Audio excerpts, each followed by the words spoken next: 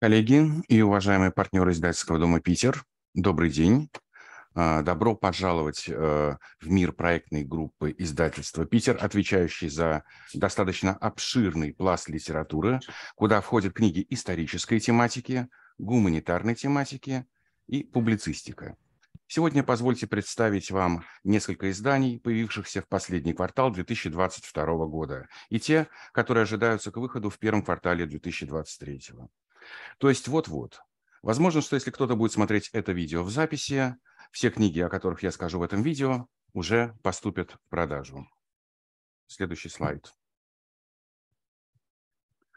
А, открывает наш обзор достаточно серьезная книжка. Ну, надо заметить, что все представленные в нашем сегодняшнем обзоре книжки будут в той или иной мере серьезности. Но обещаю вам, что в конце этого видео я расскажу вам о более легких изданиях, но не менее исторических и интересных. Начнем же мы с труда Ильи Радьковского. А, «Сталин. Пять лет гражданской войны и государственного строительства». Книга в продаже с ноября 2022 года.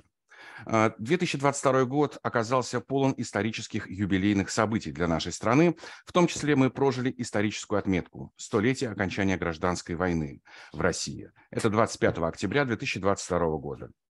К этому знаковому событию Издательство «Питер» выпустило книгу «Сталин. Пять лет гражданской войны и государственного строительства». То есть это раздел «История России», «История гражданской войны» и «Революция». Ключевое место э, в научном исследовании отведено фигуре Иосифа Виссарионовича Джугашвили Сталина, а именно малоизвестным широкому кругу читателей и начинающих историков фактом его этапу жизни во времена гражданской войны в России, когда Сталин только-только возглавил партийный аппарат. Автор собирает мнения различных историков и акцентирует внимание на том, что Сталин по факту был ключевой фигурой гражданской войны. Достижения Сталина определялись его организаторскими качествами. Характерно в этом отношении высказанное Климента Ворошилова. Цитата. «Нужно быть Сталином и обладать его крупнейшим организаторскими способностями, чтобы, не имея никакой военной подготовки, так хорошо понимать специальные вопросы в тогдашней трудной обстановке. Илья Радьковский подчеркивает нам, что до этого товарищ Сталин никогда не был на военной службе. Тем не менее, на различных фронтах гражданской войны Сталин провел 14 месяцев, и с ним было реально связано много ключевых побед Красной Армии. В частности, его заслуги отмечены при обороне Петрограда, рассказывается в книге. Илья Радьковский опирается на многочисленные документальные источники, архивные материалы и периодику того времени, и, безусловно, на обширную историческую библиографию. Обратите внимание на эту книгу. Историк Радьковский не в первый раз обращается к теме гражданской войны. В 2021 году в издательстве «Питер» у него вышел труд «Белый террор». Эту книгу также можно встретить в каталоге издательства. И она обязательна для вашего внимания. Если вы пополняете ваш исторический ассортимент, посвященный истории России, истории гражданской войны и революционного времени. А вторая историческая страничка нашего повествования отдана двум книгам известного западного социолога Майкла Мана. Он родился в Манчестере, но в настоящее время работает на две страны – Великобритании и США. Сейчас ему уже, уже 80 лет, очень уважаемый ученый. На русский язык книги Мана стали переводиться относительно недавно. Так, к примеру, «Темная сторона демократии» впервые была издана в России только лишь в 2017 году. И она была вообще первой книгой Мана на российском книжном рынке. Полностью она называлась «Темная сторона демократии.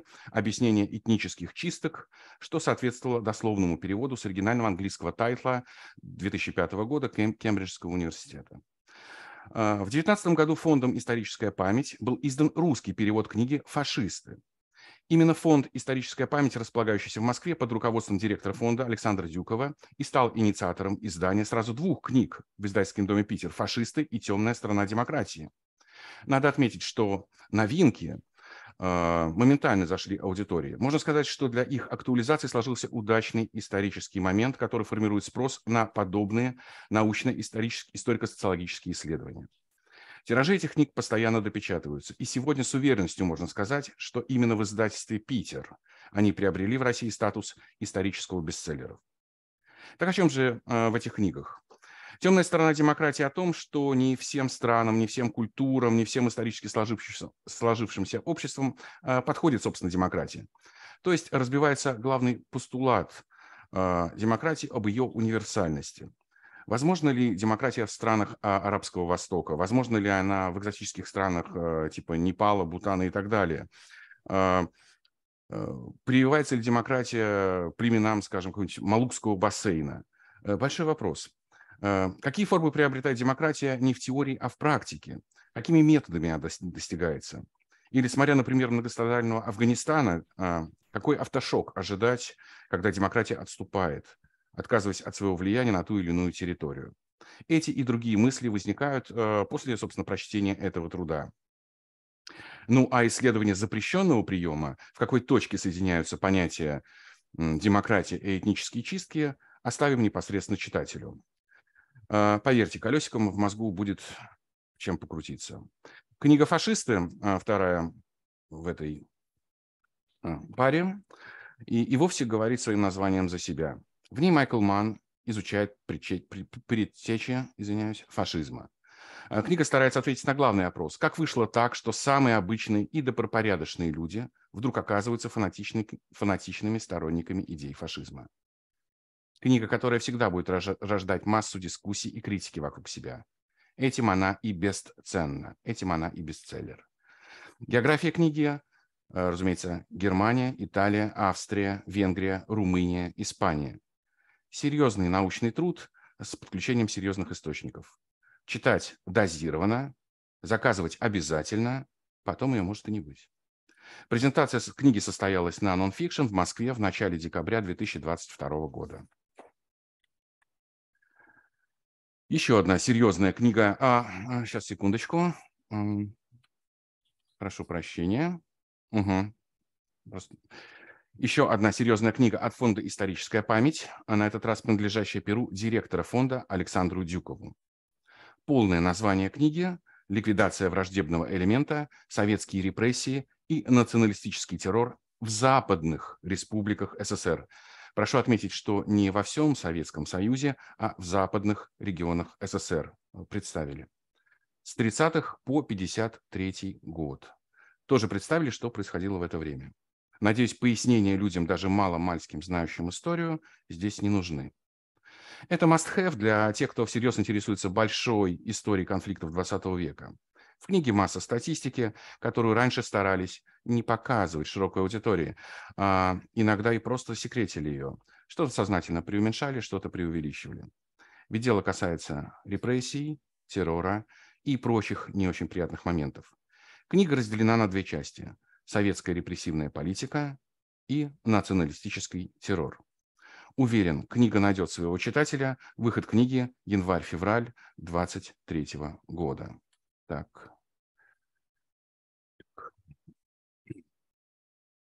Книга «Великой Исы» или «Скрижали Чингисхана», автор Александр Мелехин. А, ну, на самом деле, разговоры о Великой Есе – это то, на самом деле, о чем говорят мужчины, потому что Еса – это свод законов, косвенно применяемых и в наши дни. В них заложены многие понятия, в том числе справедливость и порядок. А об этом мужчины будут говорить в своем кругу друзей всегда. Автор а, ведущий монголовед с мировым именем, написавший более десятков научных трудов, бестселлеров о Чингисхане. И о Монгольской империи. Окончил филфак МГУ, не московский, но монгольский государственный университет. Прожил в Монголии более 30 лет. Сейчас эта книга уже стала раритетной. Она очень сложна, но интуитивно, понятна, но интуитивно понятная верстка с массой цитат и научных отсылок, э, честно говоря, спасают. Эм, работа проведена колоссальная. Когда говорят «книга – лучший подарок», э, не уточняют, какая. Вот для мужчин это в первую очередь. Так, ненавязчиво и стильно. Научно-популярное издание для тех, кто интересуется правом, историей, историей религии и эпохой Чингисхана. Книга уже в продаже с ноября 2022 года. Следующая книга. Сейчас, секундочку, наверх. Следующая книга, которая вышла в издательстве «Питер», это бестселлер всех времен и народов, э, педагогическая поэма Антона Макаренко. В продаже с декабря 2022 года. Практически свежая новинка. А, здесь ее поместили в научпоп, но это не является по-настоящему полноценным ну, это не является научпопом, это является полноценным научным изданием, которое к тому же интересно читать. Интересно, интересное сочетание, не правда ли? А, редко встречается. Это классика. И даже когда идут футбольные матчи, я, кстати, замечал, что комментаторы РПЛ а, цитируют Макаренко. Ну, пересмотрите трансляции. Но, с другой стороны, оно и неудивительно, ведь какие-то наработки Макаренко по построению коллектива в чем-то повторялись у метра нашего футбольного цеха Лобановского. Спортивные тренеры часто обращаются к методикам Макаренко. Но не только в спорте. Э, руководители крупнейших фирм с мировым именем строят свои корпоративные правила в духе Макаренко. Концепции и практические наработки Макаренко живут и по сей день. Издательство «Питер» представляет вам самую полную версию педагогической поэмы. Поэтому, в принципе, все остальные версии э, теряют свою актуальность. В чем заключается эта полнота? Ну, э, принимал участие в создании книги главный макаренковед, последний оставшийся из, из магикан Светлана Сергеевна Невская, которая полностью восстановила текст оригинала, э, частью, который был удаленный в разные времена советской цензурой. Она же написала обширный комментарий и уникальное предисловие. И несколько крылатых цитат из педагогической поэмы. «Отказаться от риска значит отказаться от творчества. И если перед коллективом нет цели, то нельзя найти способа его организации». Следующая книга. Следующая книга, даже видите, несколько, несколько книг относится к художественной литературе. Э, наша э, группа проектная занимается и художественной литературой от известного автора Дмитрия Александровича Кананыхина. Э, автор – обладатель Федеральной Горьковской литературной премии, присужденной ему в 2006 году в номинации за связь поколений развития традиции русского эпического романа за, собственно, роман «Деды и прадеды». В продаже с августа 2022 года а, поступили три новые книги, трилогия Дмитрия Александровича Кананыхина, а, которые, соответственно, называются «Индейцы и школьники», «Студенты и совсем взрослые люди» и «Тонкая зеленая линия». Все в ультрамодном карманном формате «Питер Покет». Удобно читать во время любой поездки, везде. А, каждый последующий роман можно рассматривать как продолжение предыдущего, а можно каждый читать с нуля, как самостоятельное произведение. Ничего страшного. Э, романы можно даже читать в обратном порядке, как смотреть «Звездные войны». Все равно будет захватывающе. И будет стопроцентное погружение в, джедай, э, в советскую эпоху. О чем же эти романы? Индейцы и школьники о послевоенных забавах, э, о поведении детей и их отношении к родным и сверстникам. Яркие сны, первая любовь, школьные баталии, сбитые коленки и буйные игры, битва улицу на улицу, блатные повадки, смертельная вражда – это все, все атрибуты непростого времени начала 50-х годов. Студенты совсем взрослые люди, действие происходит на десятилетия позже, о ленинградском студенчестве. А, присутствует характерная многослойность сюжета для Дмитрия Кананыхина здесь, ну, как о ленинградском студенчестве, со, всем, со всеми атрибутами, с твистом и общагами, все как у всех. Действия начинаются э, в Украине с сюжета поступления главной героини в Киевский университет. Ну и «Тонкая зеленая линия» – это роман об офицерах и их возлюбленных на войне без войны во время э, пограничного конфликта на острове Даманском. Э, Дмитрий Кананыхин определяет этот роман как настоящая история нашей границы. Напомню, Даманский конфликт Китая и СССР э, произошел в марте 1900, 1969 года. Ох. А, следующая книга, которую представляю вашему вниманию, Книга Константина Ильина «Из андеграунда в мейнстрим». А, пожалуй, лучшая книга о петербургской музыкальной жизни нулевых. А, могу сказать, что лично знаком с автором, знаю его очень хорошо. Это профессионал музыкальной журналистики, а музыкальная журналистика – это образец независимой прессы. Но вот нельзя же музыкальную посредственность а, назвать талантищем. Фальш почувствуют все рекламодатели не придут на следующий номер. В этом и есть объяснение, что музыкальная журналистика была, есть и будет самой независимой и беспристрастной прессой. Так и в этой книге автор, главный редактор журнала «Аудиоформат», беспристрастно рассказывает о музыке нулевых, о ее героях и антигероях. Надо признаться, героев больше. Кто эти герои? Давайте по порядку. Книга посвящена радиодиджею, шоумену, музыканту и продюсеру Геннадию Бачинскому. Вместе со Сергеем Стилавиным они вели беспрецедентное для российского радиоэфира утреннее шоу «Два в одном». Сначала на радио Модерн. помню, сначала, погиб. сначала на радио Модерн, потом на Максимум, потом они перешли работать на радио России. Бачинский делал незабываемые радиоэфиры, которые стали эталонными для нынешнего поколения и мифологическими, ибо неповторимыми, даже при большом хотении, в сегодняшних рамках радиоэфира. Бачинский был участником-продюсером многих музыкальных проектов, одним из которых была культовая панк-группа «Химера» с вокалистом Эдуардом Редом Старковым. В книге отдельная глава посвящена группе «Химера» и, наконец-то, приведена ее полная официальная дискография. Армия фанатов Химеры обширна и охватывает не одно поколение людей, интересующихся андеграундной культурой. Это для заказчиков. Какие еще питерские звезды нулевых представлены здесь? Практически все. Animal Jazz, «Последние танки в Париже», «Бригадный подряд», «Аматоре», безусловно, большой артист Стас Борецкий, проект «Олимпийский», группа «Сокли», «Минор» со Славой Шалыгином, «Сканк», «Психия», много-много имен, среди которых, скорее всего, есть и ваши друзья, а, быть может, и вы, если вы э, тусили в эпоху нулевых. Э, у книги гигантская аудитория. Это фан-сектор каждого музыканта, представленного в книге. Здесь заботливо восстановлена атмосфера нулевых, а это гарантия, что книга не устареет, ибо она является культурным слепком времени городской жизни, а значит будет стоять на книжных полках как у местных, так и у туристов, у молодежи особенно, которые захотят почувствовать то недосягаемое для них питерское время. Must have всем – Теги «Музыка», «Культура», «Санкт-Петербург», «Андеграунд», «Нулевые» зайдет на, любую полку. И абсолютно для всех возрастов, кто застал эпоху нулевых и жил при этом в Петербурге. Остальные пусть читают и завидуют. В продаже с 30 января 2023 года уже вот-вот предзаказ на сайте издательства «Питер». Надо заказывать. Таких книг в последнее время выпускают мало. Следующая книга, которую я вам представляю, наконец-то сразу же открылась. Это, как ни странно, публицистика и нисколько не, не фэнтези, не роман, не художественная литература. Об этом я скажу позже, потому что насколько, насколько документально она написана. Это Донни Браско «Моя тайная жизнь в мафии». Правдивая история агента ФБР Джоз, э, Джозефа Пистоне. Авторы Ричард Вуд, Вудли и Джозеф Пистоне. Предисловие известного Дмитрия Гоблина-Пучкова. А, Джозеф Пистоне – специальный агент ФБР сицилийского происхождения, шесть лет работавший под прикрытием и сумевший под псевдонимом Джонни Браско внедриться в ряды всех пяти семей итальянской мафии, промышлявших в Нью-Йорке. И они были на самом э, деле, ну, как бы были. И влияние их до сих пор на Нью-Йорк э, велико. И тут они перечислены. Гамбина, Лукеза, Дженовеза, Коломбо и Банана. Ну, зная эти пять фамилий, уже будешь в Нью-Йорке своим, на самом деле. Э, и он перешел дорогу э, всем этим кланам.